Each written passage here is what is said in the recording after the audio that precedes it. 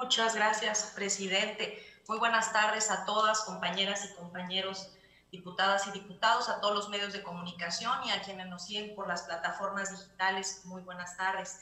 Los saludo muy respetuosamente. Escuché con mucho detenimiento eh, la participación de mi compañero Olvita Palomeque y le pediría eh, que nos hiciera favor de hacer llegar una copia de, de, esa queja, de esa denuncia del municipio, ya que hemos estado dando puntual seguimiento y la última reforma que nosotros aprobamos en esta legislatura nos eh, convoca a que revisemos en efecto, ¿verdad? Que cada, que cada este, alcalde, que todos los integrantes de los ayuntamientos que quieran o tengan la intención de, de la reelección tienen que estar en orden. Entonces tenemos que observar perfectamente bien ese tema, ser muy cuidadosos y como comisión de vigilancia en este tema que, que me honro en presidir la comisión, vamos a estar revisando, ese es mi compromiso con todas mis compañeras y compañeros diputados para hacer un trabajo con mucha conciencia, con mucho detenimiento, con mucho trabajo jurídico, para observar en estricto sentido la ley que nos dice que tienen que solventar sus cuentas públicas, que no tienen que haber denuncias por hechos de corrupción,